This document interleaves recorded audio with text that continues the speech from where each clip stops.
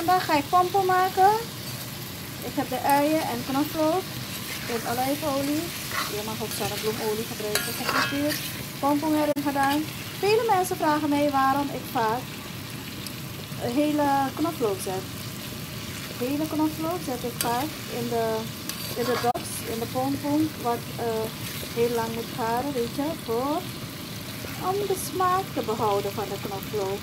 Als je dat niet wil, kan je ook Vele mensen snijden natuurlijk stukjes, vele mensen doen gewoon uh, in een chopper.